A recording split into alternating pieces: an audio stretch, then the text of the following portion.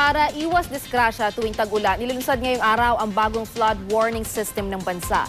Mismong si Pangulong Noynoy Aquino ang nanguna sa pagpapakilala ng Nationwide Operational Assessment of Hazards o Project NOAA. Mula sa Marikina City, may ulat on the spot si June Veneracion. June?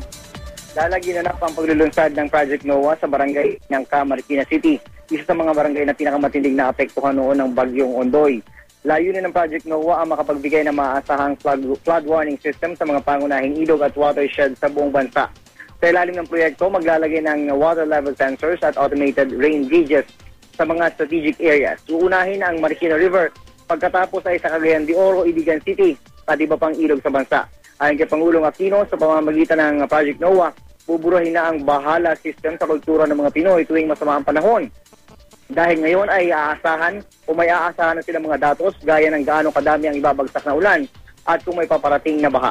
Para makakuha ng mga impormasyon, mag-log on sa website ng Project NOAA sa www.noaa.dost.gov.ph.